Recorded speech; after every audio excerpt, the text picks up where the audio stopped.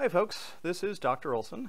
I have a PhD in New Testament, but my research and teaching is focused on the interpretation of the scriptures in the liturgy and Christian life of the first thousand years or so in the Christian West. Uh, this is for SL 553 Patristics, class on the Church Fathers for third year seminarians at St. Mary's Seminary here in Baltimore, and also for other purposes as well. After teaching early church history for a while, I realized that it would be very beneficial uh, to start with a big picture drive-by of the history of the patristic period to help provide some political and economic context for what was going on when these people were writing and teaching things. So, covering 700 years in under 15 minutes. Why exactly would we want to do this? Uh, first, Christian thought does not occur in a vacuum.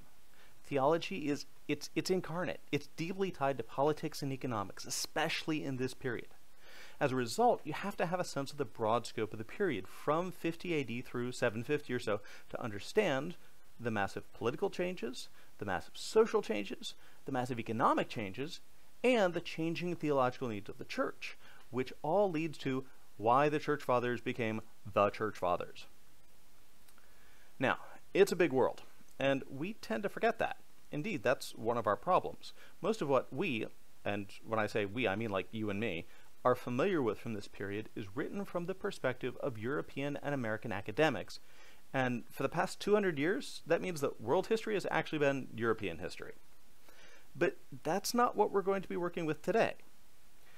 Advances in archaeology and genetic anthropology and pottery analysis, access to languages other than just Greek and Latin, have shifted our perspective quite a bit on what we know and what we can say about this period just in the last 30 years or so. Thus, instead of this just being the fall of Rome, it's actually best thought of as a big shift east, and you'll see what I mean by that as we go along. So rather than the whole world or the eastern hemisphere as pictured here, we're only going to be looking at a small section of it, primarily the area that started as the Roman Empire and the lands that put pressure on it. So rather, we'll say that our scope is the Mediterranean oikumene. Uh, oikumene is, is, the Greek word that means inhabited world. Uh, and, and so it, it, refers to this section and, and the people living in it. It works better uh, for this region instead of, say, going by continents because we've got three different continents that are all an important part of this Roman world. It also includes important peripheral regions like Northern Europe and the Middle East, but it's centered primarily around the Mediterranean. So, let's take a moment to talk about some key geographic and economic factors at work here. First, notice that the Mediterranean is literally in the middle of the Roman Empire. This is really important. Carrying things over land is hard. Traveling over water is a lot easier. It's still dangerous, but it's much simpler. The Roman Empire is the first and only time that a single political entity has controlled all of the lands bordering the Mediterranean. Uh, the Roman epithet Mare Nostrum, our sea, is entirely accurate. Now, not all land areas are created equal in terms of economic production. Working off tax records from the early empire, uh, we can compare some regions in terms of how much grain they produced. So Egypt sent 135,000 tons of grain to Rome each year. 135,000 tons. North Africa sent 108,000 tons of grain. Sicily, uh, 20,000 tons of grain. Note, this isn't tons of production. This is tons of surplus. So they fed all the people there and still had all this grain to send. This should tell you just how important North Africa and Egypt are. The other piece of the economic puzzle is that there's one more region in the Mediterranean, Oikumene, that's also capable of producing grain on a comparable level, and that's modern uh, Mesopotamia, modern day Iraq. Now, I, I, can't give you a great figure for their annual production because they weren't sending taxes to Rome. Uh, now, based on these uh, comments about geography and, and such, uh, let me give you three key characteristics of the Roman Empire. These are characteristics that the Roman Empire had and that what followed it, what we get to by the end of the period, does not have. These three things. So, first off, stable and complex trade routes that enable local specializations. Um, so this means we've got trade routes that are capable of carrying bulk goods at a profit. That's unusual, and it allows for specialization. If I can get grain at a decent price from far away, then I can specialize in olives or grapevines, and I don't have to waste time uh, and effort and space on a crop that doesn't grow well where I live. This kind of specialization is essential for a complex, diversified economy. Second, cities. Urbanization. Uh, the Roman Empire was and saw itself as an urban phenomenon. So the red dots on this map here these represent 23 cities that all had over 20,000 inhabitants. Overall, the urbanization rate across the empire was just shy of 10%. Cities were how Roman politics and social display worked. If you were an aristocrat, even if your wealth was due to your many country estates, you displayed it and leveraged it politically in cities. And notice too, look at where the red dots are the vast majority of the major cities of the Roman Empire are not in Italy. Right? It, it's over here. It's in the east. Remember that. Third, the first and second things, characteristics, are intimately related through the third. What we tend to forget is that any person living in a city is a person who is not growing food. Given the technology of the time, it took between 8 to 10 people working the land to support one city dweller who wasn't working it. So, an urbanization rate of 10% is right on the edge of what's possible. The Roman tax system subsidized the trade routes. So, a, a ship from Egypt was paid by the government to haul grain as tax to Rome. So, any cargo that could be taken on the ship in addition to the grain was essentially being carried for free, and it was much easier to sell at a profit then. So, grain from Egypt and North Africa then was given away for free to the poor uh, in Rome and Constantinople, maintaining the size of the cities and making politicians more popular with the common people. The tax system is what enabled this to happen. It, we'll say a bit more on taxes in another couple of centuries. A little foreshadowing though, during the period we're looking at, these three things, these three characteristics, are going to be going away, especially in the West, causing big problems for a lot of people. All right, so here's the empire at, at 50 AD. Paul is just starting to write letters. Uh, the Julio Claudians are on the throne. The empire is expanding. Things are good, generally speaking. Uh, notice where we have some numbers at the far end of the Mediterranean there. Uh, from from bottom to top, that's uh, Judea, Ituraea, Emesa, and Palmyra. Um, appreciate these for now. They're about to get absorbed. So when we move ahead to 100, the empire is expanding with the Flavians. Uh, you see these those places got sucked up. Uh, Jerusalem is sacked in 70 by Vespasian and his son Titus. Uh, that's really important. Christian geography essentially stops being a thing. Um, so they take over the empire after a brief period of chaos. By the year 100, Domitian is on the throne, and uh, the book of Revelation may well have been talking about him. Uh, he was referred to frequently as the bald Nero, and, and so the, the castigations against Nero in Revelation may well be uh, focused towards him. Uh, if we jump to the year 200, there's not a lot of change, uh, but that's because we barely skipped over the greatest extent of the empire when, under the Antonines, it, it briefly got as far as the Persian Gulf. Uh, at this point, though, the tide begins to turn. We had the five good emperors, uh, the last being Marcus Aurelius, who died in 180. Uh, what was good about them is that they had no male children, uh, and thus handed off the empire to a succession of competent adult rulers. Um, competent adult, this is a good thing. Uh, so this ends, though, with Marcus Aurelius. He did have a son named Commodus, uh, to whom he leaves the empire, and it literally goes all downhill from there. The assassination of Commodus in 192 kicks off the year of the five emperors, uh, which was a mess, with the African-born Septimus Severus coming out on top. Uh, and then emperors are going to be from Africa and Syria for a while, and lacking competent adults, this is going to devolve in what's known as the crisis of the third century. In a nutshell, we've got a bunch of things coming together all at the same time. Uh, we've got two plagues. There's first a smallpox type plague that comes through in uh, Marcus Aurelius' day. Then an Ebola type plague uh, hits Africa around 250. Also, the climate shifts. So the Mediterranean region had been warm and wet. In the third century, it becomes colder and drier. So the alpine glaciers increase and advance. European harvests suffer. Uh, this is actually a good thing for Roman North Africa. It, it actually makes grain and olive production even better there uh, and does make Africa one of the richest provinces of the entire empire. However, with failing crops in Europe, this also forces barbarian pressure against the, uh, the border on the Danube, so up here, this area, partly through climate, uh, partly because the horse archers from the steppes, so the Sarmatians, the Alans, the Huns, uh, are moving westward. The 50 years between 235 and 284 are referred to as the military anarchy, and this is where the empire almost collapses. So we almost lose Rome at this point, like completely.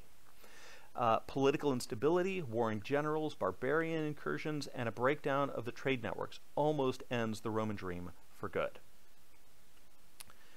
This is the state of the empire in 271. Uh, you can see it's broken into three big pieces. Uh, we've got the Gallic Empire, the, uh, what's left of Rome, and the Palmyrene. Notice, this is a big deal. The Palmyrene has got its hands on Egypt. So that 135,000 tons of surplus grain are being produced there.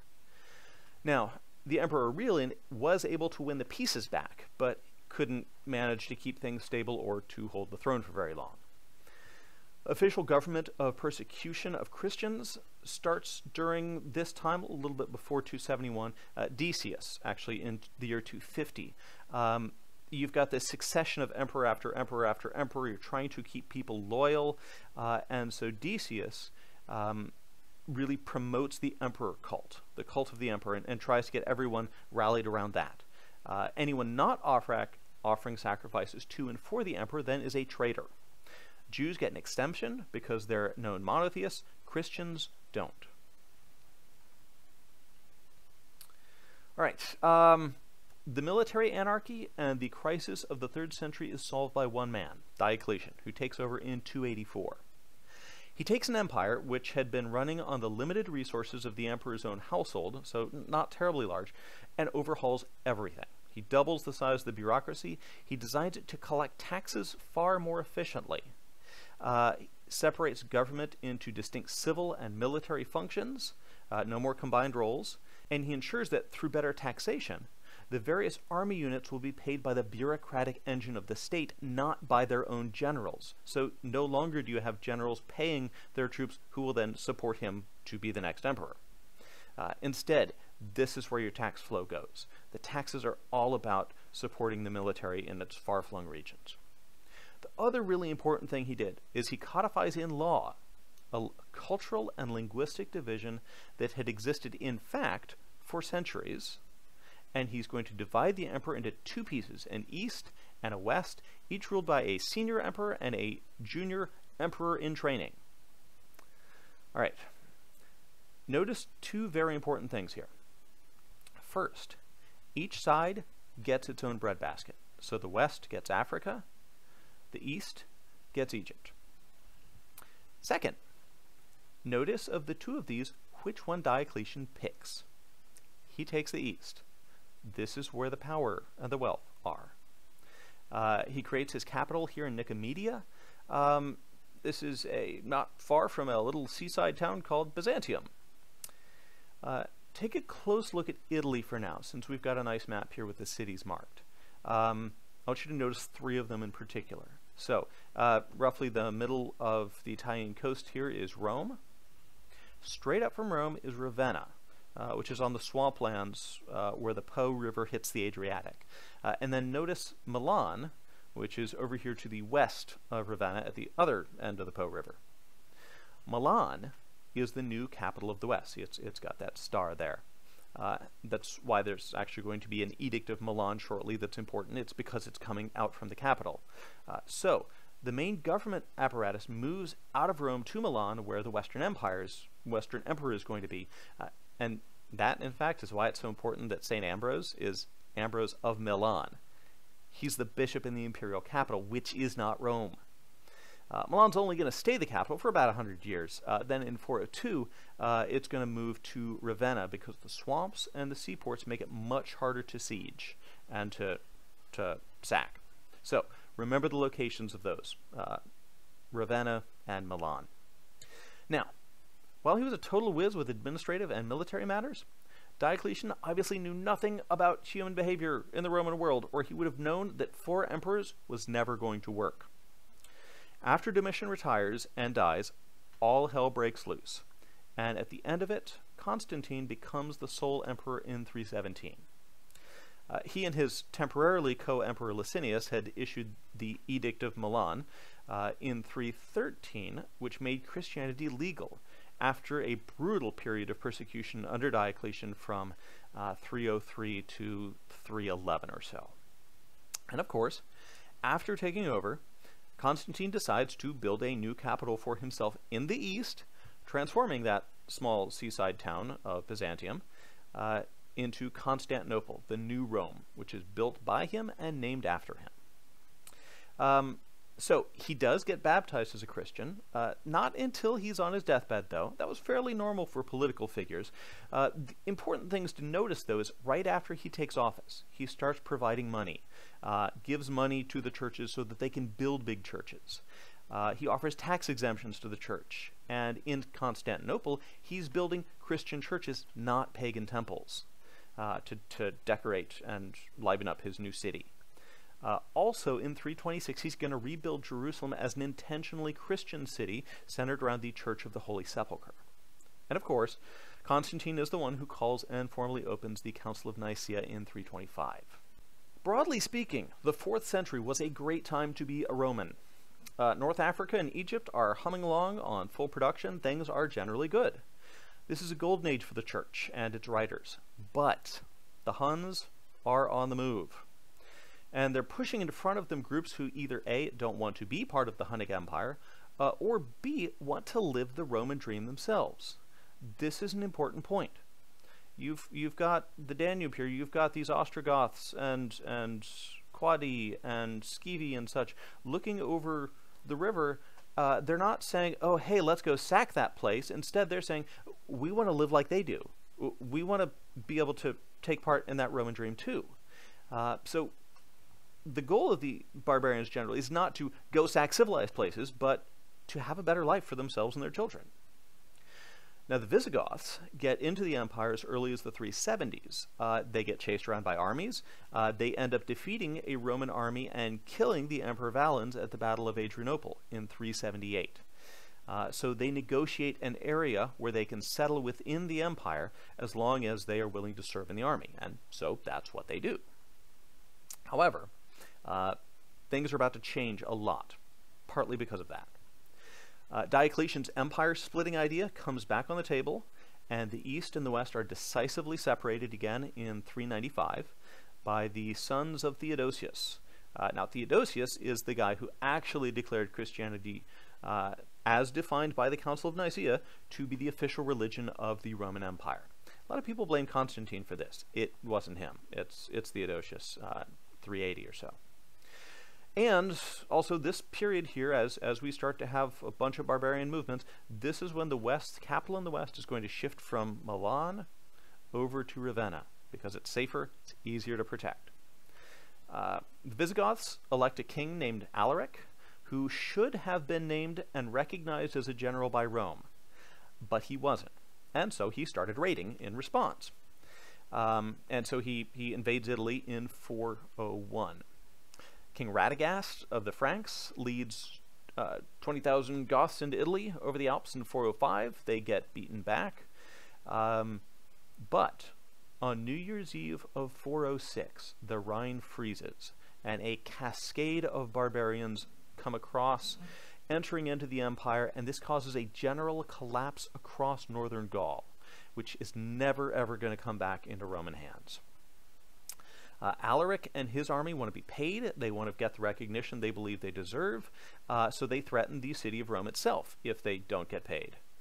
The leaders of Rome respond to this request by slaughtering Gothic hostages, so mostly women and children, leaving Alaric basically no choice but to sack Rome in response. So, yes, uh, the Visigothic barbarian Alaric sacks Rome in the year 410. But this shouldn't be thought of as fur-clad civilization-hating barbarians going after the biggest city they can find. Instead, it's really more of a failure of internal Roman politics. Uh, Radagaisus, on the other hand, uh, really was much more the fur-clad barbarian type. Um, he bragged that he was going to sacrifice the senators uh, to the old gods in the middle of the forum. Uh, he never actually got that far, though.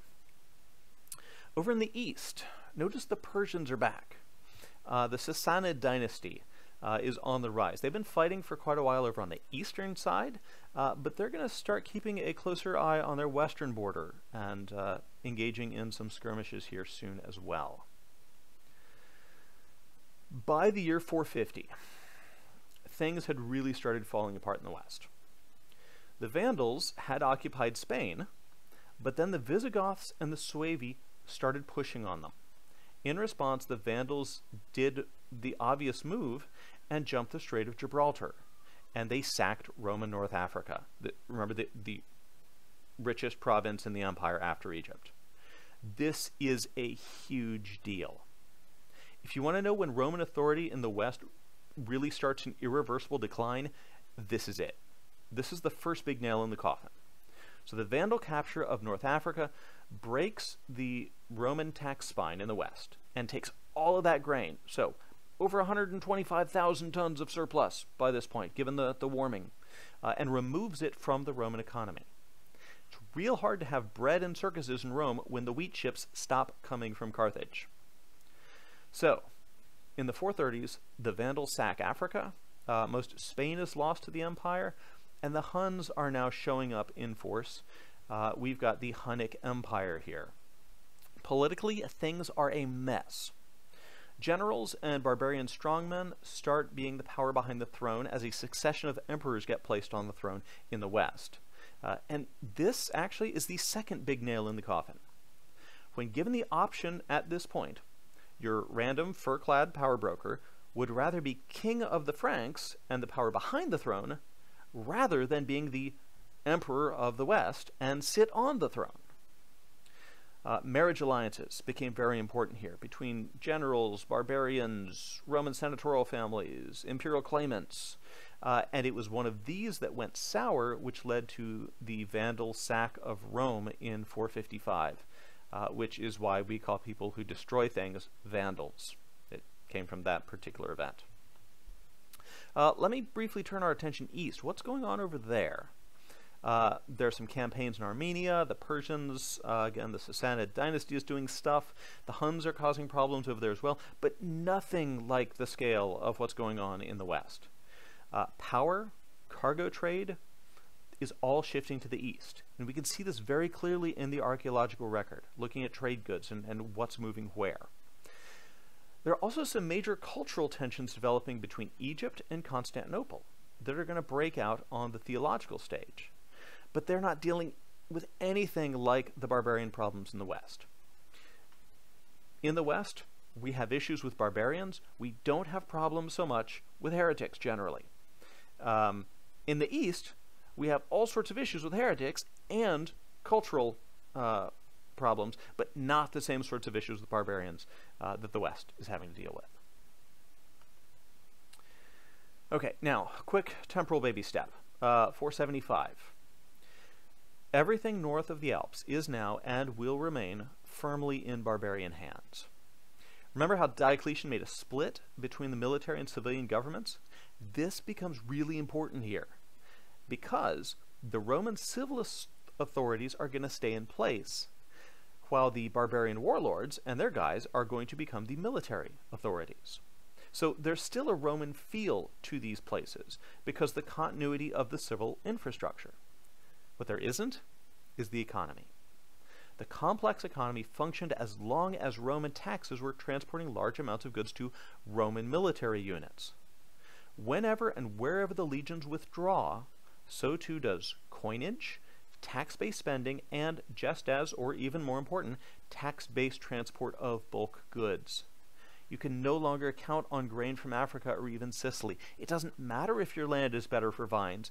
You'd better be planting some wheat if you don't want to plan on going hungry. The economy becomes simpler and much more localized. Military units are now tied to local land that produces the food to feed them, not to a government, not to a centralized structure, or even to the king of a people. This leads to more localization and fragmentation of power structures. And that's the West. That's not happening in the East. What is happening in the East is that various groups keep invading through Pannonia, that's kind of this area here, um, just north of Greece where the Balkans are today. Thrace and Greece keep getting raided by wandering armies of Goths. Now, the Eastern Emperor is going to suggest to some of these that, hey, if you like Thrace, you're going to love Italy. Uh, and a Gothic king named Odoacer does just that. Uh, he moves into Italy, and the year after, this drives one more nail into the west. So, in 476, Odoacer deposes Romulus Augustulus, the last emperor of the Roman West, and with the agreement of the Senate, sends the imperial regalia back to the Eastern Emperor, Zeno, saying, hey, I recognize you as emperor of everything, I'll just be the king over here and keep an eye on things for you. Uh, and it's this act that will be identified as the fall of the Roman Empire. And I'm putting big air quotes around that fall of the Roman Empire. There are several reasons for these air quotes. Uh, the first is because it's not really a fall in a political sense. Things are still going on much as they had before. There's a Roman civil structure that handles the taxes and records, and there's a barbarian military structure that handles, you know, killing whoever needs to get killed. Second issue with it the Roman Empire is doing just fine in the East. So it's true to say that this is a collapse of Roman imperial authority in the West, but the fall of Rome isn't terribly accurate. Furthermore, dates get picked by historians and politicians for reasons, and this is a very politically loaded choice of a date. And I'll tell you why in another 75 years or so. The other important thing uh, that's going to happen in, in the next, the, the following year, uh, is that the Visigoths are going to take most of Spain, leaving the Suevi with just a little chunk uh, up in what's now northern Portugal. So S Spain is essentially going to become the Visigothic kingdom. Um, all right, well, so the Eastern emperors never really trusted Odoacer, so they offered Italy to another Gothic warlord named Theodoric, uh, who history is going to remember as Theodoric the Great. Uh, now, I say Gothic warlord, uh, but he was raised as a hostage in Constantinople and had a formal Eastern Roman education, so definitely not your stereotypical fur-clad barbarian. Uh, he rolls into Italy, he fights with Odoacer for a while, uh, made peace, and as they had a big banquet celebrating their peace treaty in 493, Theodoric whips out an axe and kills Odoacer on the spot, taking over Italy entirely. Now, despite that little bit of brutality, Theodoric was an excellent ruler, and, just as they had been doing, maintained a Roman civil service alongside his Gothic military. Now, everything was going just fine until his son-in-law and heir, Eutharic, dies unexpectedly in 522. Theodoric was old at this point, and was facing political restlessness from both Goths and Romans.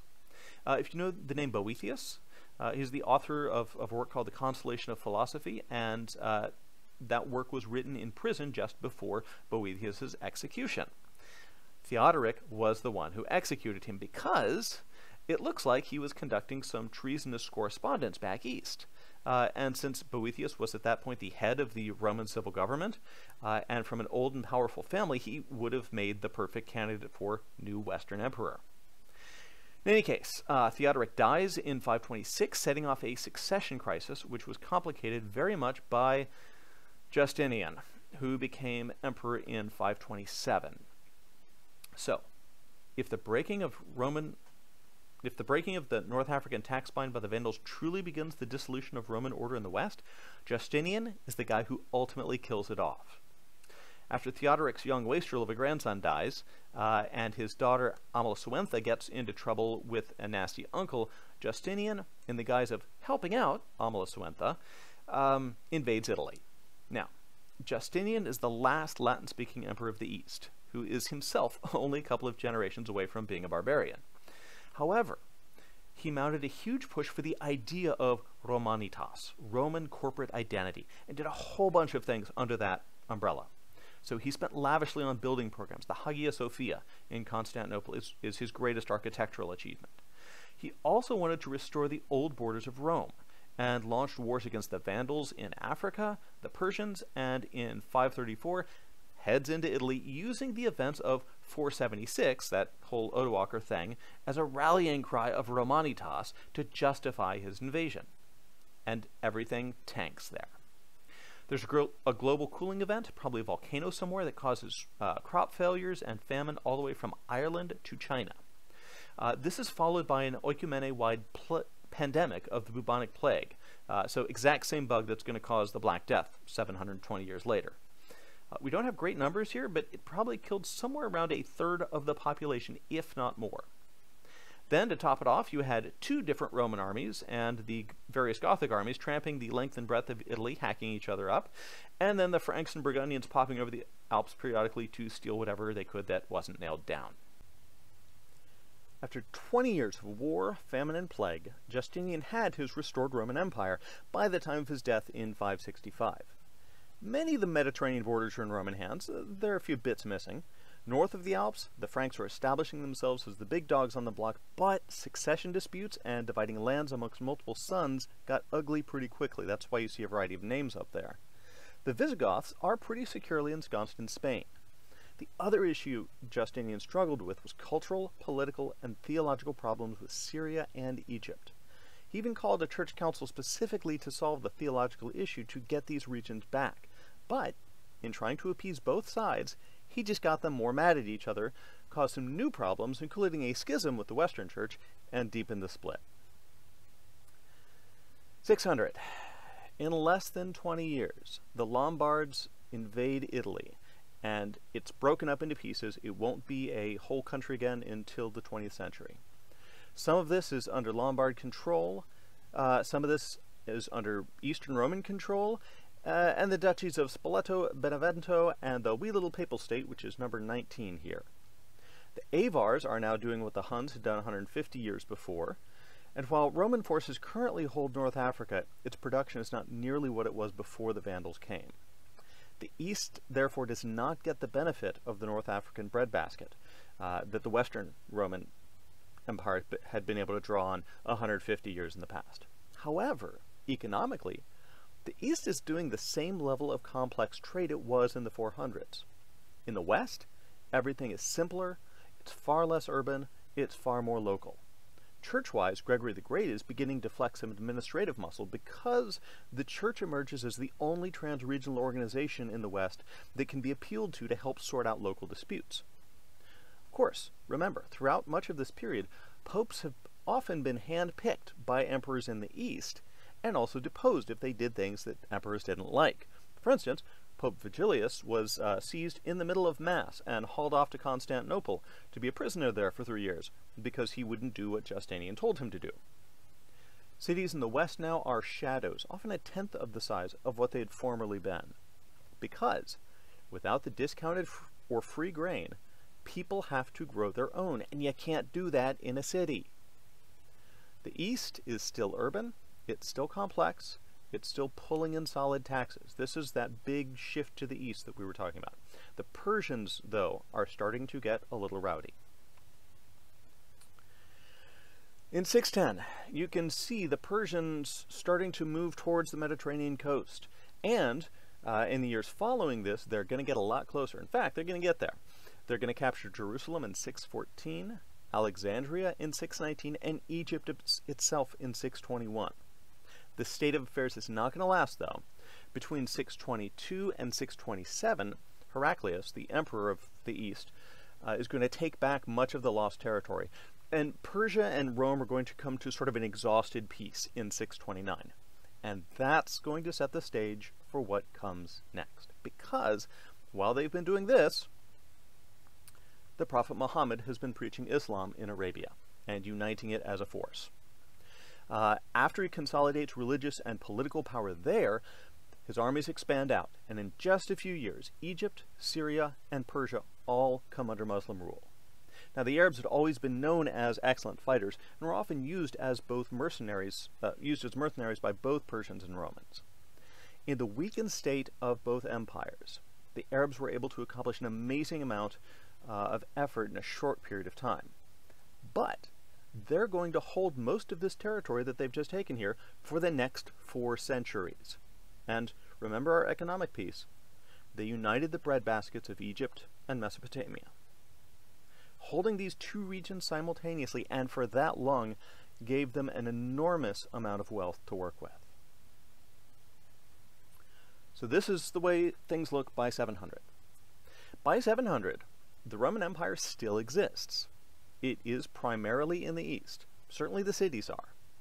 It's a combination of Roman political structure, Greek culture, and Christian piety. The regions that have been causing it cultural and theological turmoil are no longer politically connected to it, and never would be again either. It still has holdings in Italy, and its naval strength allows it to keep the big Mediterranean islands for now, although the loss of the Egyptian fleet meant that Arab raiders are going to begin striking everywhere from Greece to Marseille to Cadiz on the Spanish coast. There's still a lot of wealth and trade happening, but the world focus has shifted to the eastern end of the Mediterranean. The economic power centers are going to be the, the beginning and ending and all along the Silk Road, uh, from Constantinople through Persia, through the Sogdian territories to Xi'an in the western part of China. The city of Rome itself is existing at the sufferance of the Lombards, but it's going to start appealing to the Franks for help soon.